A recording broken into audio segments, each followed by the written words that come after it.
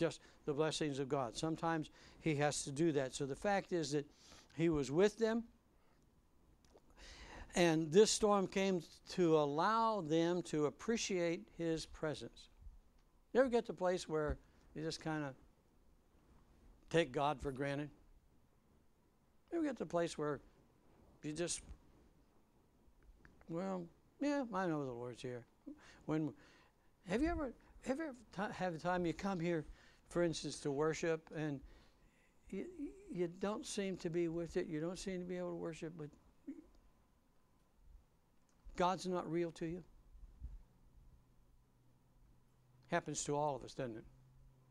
One time or another. And so sometimes God allows things just to come into our life so we can appreciate the presence of God in our life. Um, when things are going good and, and uh, I've got lots of money and all that, I don't need God, right? I can rely on me. Do you ever rely on you? It's when it's when God brings us to the end where we have to say to Him, Lord Jesus, I don't know what to do. I've got to rely on you. And that's when we are where God wants us. We're to live by what? Faith. In who? The Lord Jesus Christ and God. And not in ourselves. When we are self sufficient, everything's going well, we don't need God. Say, really? Yeah. That's the way I am. Maybe you're not that way. Maybe God didn't have to show that to you, but He did to me. And so these disciples, He's teaching them that He's still there, even though the storm is there, and we're to trust Him in the darkness and to trust Him in the storm. Number four, I want you to see that we're not to lose faith or patience because of the storm. The answer is coming. Now, it might be a while. Remember, Daniel prayed for three weeks about a particular thing, and, and he said, The devil has fought me, and I, I was coming, I came, started three weeks ago, and I've just now got to you. Sometimes God allows time to pass. Sometimes there are interferences for you and I. Don't let's not lose our patience. Let's not lose our faith. Maybe, maybe when all the uh, uh, permits and all are in, we may not have everything we need. Let's not lose our patience. Let's let God work what He wants to work in our lives, in our church life and in our spiritual life. Uh, George Mueller prayed for two men for 60 years. Can you imagine that? Two men. He prayed for them for 60 years. And after he died, they got saved. When I was pastoring in Hanover, I prayed for one man for 15 years. Every time I had an evangelist, I'd take the evangelist to, to his house, and he'd always invite us in, and we'd sit down, and the evangelist would present the gospel again. Every once in a while, I'd send one of my deacons by, and they'd present the gospel. He knew the gospel better than I did for 15 years. One evening, Ron Comfort was was um, in revival service with us. So one afternoon we went by and sat down. His, this man's name was Donnie Redden.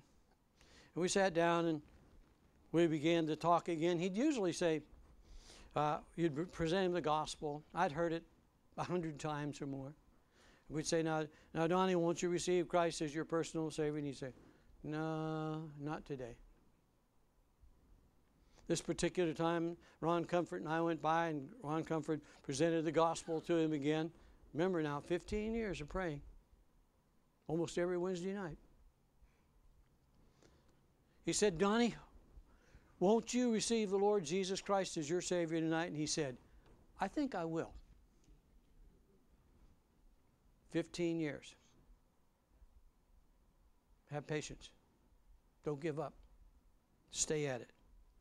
You never know when God's going to be able to work this particular thing. So we understand that that we're to maintain our patience, maintain our faith. And number five, I want you to remember God's future is bound up with yours. You understand that? just like Jesus was bound up, his, his presence was bound up with those disciples. He said to them, If, let's get in the boat and go to the other side. If they don't get to the other side, then he's not God. And if God doesn't take you through you and I through all the storms, and we don't ultimately land on heaven's shore and be transformed, then He's not God. The truth is that His future, His His uh, ideas, His thoughts are bound up with what what will happen to you and I. See, if we don't make it, if we're not saved, if we don't make it to heaven, we don't make it through the storms, then God can, there's something God cannot do for us. So we find it, it is bound up. Both, uh, both, both. When we talk about fellowship, we, he says, if we walk in the light as He is in the light, we have fellowship. What it means is we are in fellows in the same ship. If His ship goes down, our ship goes down. If ours does, His does. He, his, it's bound, we are bound up together. We are part of Him. His, his, his uh, promise then has to be put to the test. Here it was. Let us pass over to the other side. And they said, Master, we're going to perish. We're not going to make it. Truth of the matter is, Jesus said they would,